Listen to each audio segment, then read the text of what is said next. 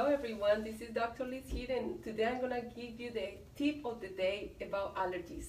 When we're in this season of allergies, it is really helpful to take extra vitamin C, zinc, and zinc in combination with copper. The other thing that you can keep handy is quercetin and bromelain. This one reduces the symptoms of allergies like sneezing, coughing, congestion, and I also suggest to take a probiotics. Probiotics helps to rebalance the friendly bacteria to keep us healthy. And along with the probiotic, I always tell people to take care of candida. So one way of killing candida is mixing olive leaf and oregano.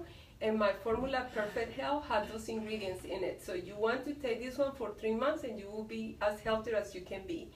And also I have even little kids that they come sometimes with their parents and they have severe allergies. So we have vaccines like homeopathic vaccines that you take by mouth and they help, they're very helpful for pollen and hay fever, cedar fever, ragweed allergies, tree pollen, mold, yeast, and dust. This is the most common one and it helps with the sneezing, congestion, itchy eyes, watery eyes, sore throat, and all those symptoms to help you have a wonderful day. So I see you next week and please share and like my videos. I will keep coming back with more exciting videos and you just tell me what do you want me to talk about energy, weight loss or whatever and I will be here for you. Thank you so much.